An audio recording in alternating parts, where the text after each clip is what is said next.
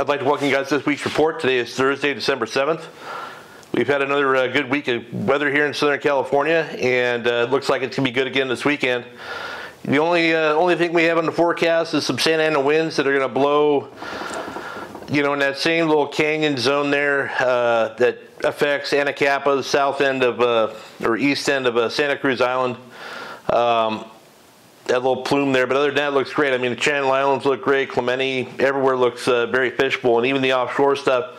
If um, if anybody's going to go out and look for tuna out there, Cortez or Tanner or below Clemente, um, which they have not really this week at all. I know they got some last weekend, but uh, that's definitely on the table as well, weather-wise. Anyway, so let's head up to the Channel Islands. Um, you know that area, it's uh, still biting, and uh, biting really good right now. Actually, based on the reports I'm seeing, you know the uh, most of the three-quarter day boats, full-day trips, and overnight trips are uh, fishing uh, sheephead and whitefish early, and then uh, heading out and fishing rockfish. And with the weather we have in the forecast, it should be a really good opportunity to go out and you know, hit Rosa, hit the west end of Santa Cruz, target some of those bigger rockfish in general, and uh, probably make for some great fishing. You know, if you're looking to get out one more time before the end of the year to load up your freezer, now would be the time to do it, as there's no guarantee the weather will be as cooperative the rest of the uh, the rest of the year before the season closes on December, on January 1st. Um,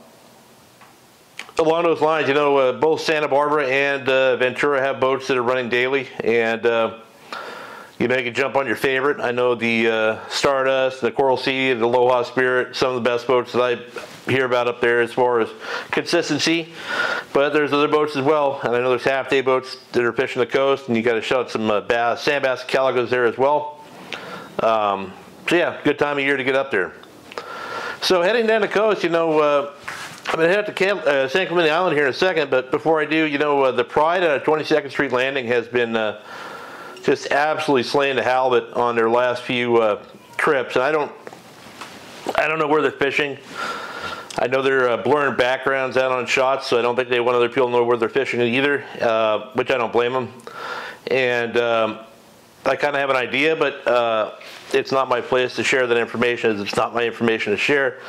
But uh, they are uh, doing real well, and they say they're seeing some sea bass as well. So you know, it's just a matter of time. You know, maybe the right lunar cycle. I lost track lunar cycle here while I was uh, in recovery from uh, my knee replacement, but I think we should be around a, a, new moon, maybe. I don't know. Like I said, I didn't really keep track, but I'd keep an eye on that and see how that affects that uh, the sea bass biting. They're marking, them, they're not biting.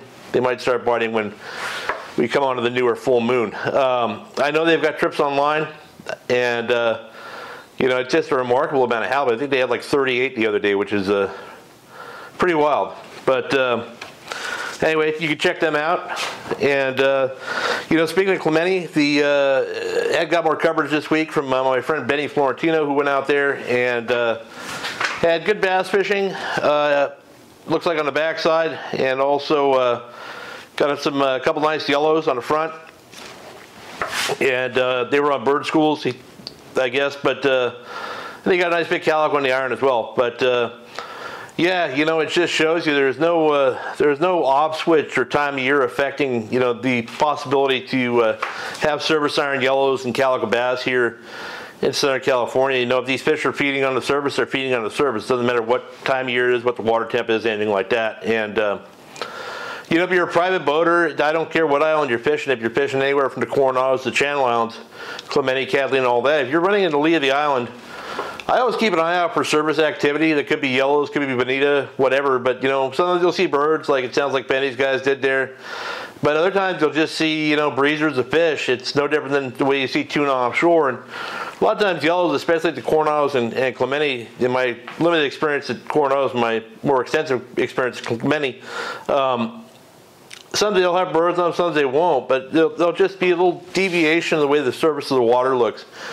And if it's not windy and it's calm, you'll notice it. And if you do notice it, I tend not to drive over it because a lot of times I'll just be a spot of fish and just cruising along just below the surface. And um, you can kind of figure out which direction they're going most of the time, just like you do offshore with tuna. And you know, just get into a place where you can throw a jig in front of them. And uh, more often than not, you'll get a bite. Uh, we had a trip uh, a couple years ago at Clemente, we are running along the same thing, same time of year and everything. Just got a, a Facebook reminder of it uh, the other day.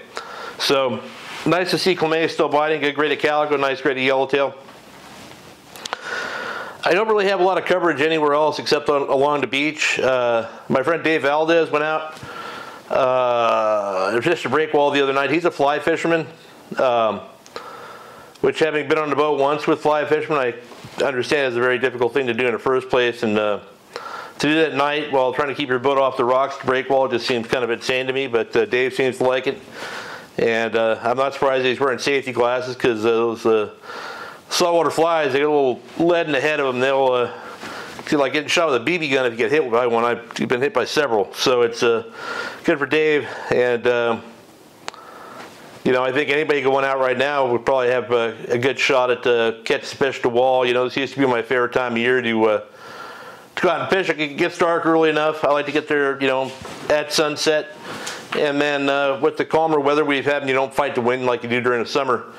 Um, speaking of that, my friend Lane Killian was out at the wall yesterday, I think, and um, he was streaming live on Instagram, I think, but he was catching some calicos on the uh, Zaimiki backdrop jig, which is a little slow pitch jig, and uh, looked like a lot of fun. And you know, I'm gonna seeing this new technology come out. Uh, it just shows you that well, things the more things change, the more they stay the same. You know, for years. Uh, when Matt and I were fishing bass tournaments, we used to use a small jig like that. It's called a uh, a Jackie jig, owner makes So This is a smaller one, but it's only the other the bigger one's only about you know a quarter bigger. I don't know what size this is here. It should be printed on there. This one is a single hook. We fish with this for a treble hook, but um, we did really well in a lot of sand bass and calico tournaments fishing that little jig. I mean, 15, 20 pound bags on tough days, and we never talked about it back then because uh, that was one of our secret baits. But um, you know, when there's suspended fish, drop a little jig like that down, on a slack line. You want your line as slack as possible. A lot of those, it really darts right on the way down. Those fish will eat it. If you make it to the bottom, bounces a couple times, burn them up 10 feet, throw it back at free spool, and they'll uh, they'll jump on it. Uh, you know that uh, that new jig, the backdrop it has, you know, with the assist hook, seems like a little bit better hookup ratio.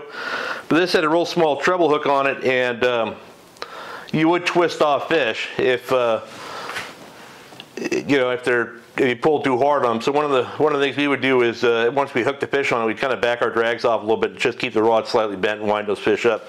Those sand bass, bigger ones, especially roll around, and uh, they will very easily dehook themselves. But uh, there you go. The uh, owner uh, or the owner Jackie Jig or the Daimiki backdrop. I don't even know if they make this anymore.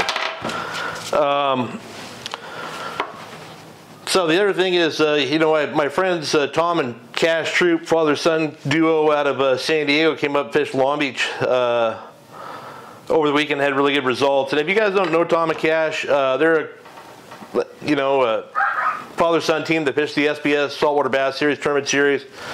Um, they live in San Diego. They've got a little small aluminum boat, and um, sorry, my wife was walking on me there, and uh, boats always sinking, all kinds of issues with that. Old beat up trailer fighting with all the time. But these guys put into work. I'll tell you what, they for that little aluminum boat they got, they sure travel a lot and they fish really hard. And what I like to see guys doing that as opposed to nowadays, a lot of people just rely on technology and say, hey, I don't need to go practice or pre-fish or anything like that. I could just go to the, the spots where I know Izers, Newport Pipe, whatever up here, you know, the stuff down the ARs down in San Diego or up in the Bay, those types of things. And um, while you catch fish doing that, if those spots aren't biting, you're really left without anything. So, you know, when I used to travel a lot more to fish bass during, during when I fished tournaments, I'd go to a lot of areas where I didn't have much experience. So what I would do is I'd go to the spots that I knew and spend two or three hours there of the trip just kind of figuring out how they fish and everything. Then spend the rest of the trip kind of prospecting around and finding new areas. And um, I did that bass fishing down in San Diego in the San Monica Bay up in Ventura.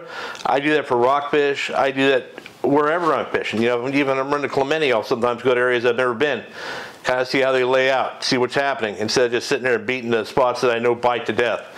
And uh, what that does is expands your range uh, as an angler. And um, I always preach that. You know, Tom is definitely someone who listens to that, and he'll give me feedback on how he does on trips. But uh, the other day he went out and um, they went and fished their stock spots up here, and fishing was really slow. So he decided to start looking around some more and um, kind of got out of his known areas. And you know, if you're using like the the CMAP or the Simrad chart or the Navionics chart, um, you can see all the structure that's around. It's it's no secret anymore. But there's so much of it in some areas, you need to figure out what's happening before you'll actually catch the fish there. And uh, what he did is he went around he struggled for most of the morning, and then he finally kind of figured a few things out. And then, you know, in, with sand bass fishing, it's really understanding the depth range they're in, the type of structure they're relating to, what type of bait fish around, how's the whole thing look on the meter. And um, you can put those pieces together every day or over a longer period of time. And he put them together that day, and it ended up having really fantastic fishing with a lot of nice sand bass in the you know four to six pound range. Uh, some of the best fishing he's had. He said up here, and uh, it's fantastic to see that. You know, they had a great day, and they learned some new areas and some. More importantly, they learned how to read what's going on. So if the next tournament they come up here, they may go up there and win the tournament on one of those spots. But if those fish aren't there, they now know that, hey, I did this, this, and this to find X result. Now, if X isn't working, I can kind of look around some more and find the next result for this day and hopefully have uh, good success as well. So, uh, and that applies to everything. I'm talking about sand bass here, but it applies to calico bass, it applies to yellowtail, it applies to sea bass, halibut, offshore fishing, tuna, marlin, everything.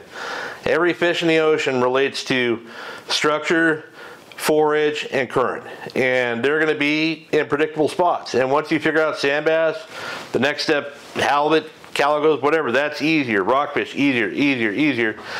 And then the more species you have, pretty soon it just becomes second nature to pay attention to what you're seeing and look for the components that are going to add up to you catch the fish that day, whatever it is you're fishing for.